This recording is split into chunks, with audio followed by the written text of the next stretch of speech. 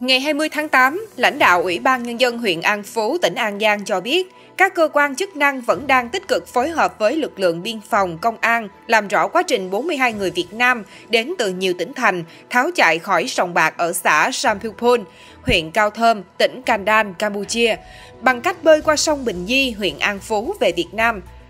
Trong 42 người nói trên, có một người bị phía sòng bài bắt lại, một thiếu niên 16 tuổi quê tỉnh Con Tum bị đuối nước đã vớt được thi thể. Là một trong số 40 người may mắn chạy thoát về nước, chị Dê, 20 tuổi, quê Cao Bằng, kể lại. Vì cuộc sống khó khăn, cả hai vợ chồng đều phải bỏ quê hương đi làm thuê nhưng vẫn không đủ sống.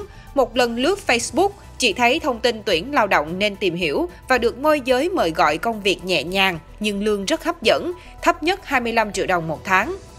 Theo lời chị, trong nhóm thoát thân có 7 đến 8 người không biết bơi, nhưng vẫn liều mạng nhảy xuống sông. Một vài người bơi giỏi kèm người không biết bơi trên dòng nước chảy xiết. Một người đã bị dòng nước cuốn, một người chưa kịp nhảy xuống sông bị đá ném trúng bất tỉnh, bị tra tấn bằng gậy. Người dân cùng biên phòng dùng xuồng máy cứu được nhóm người vượt sông.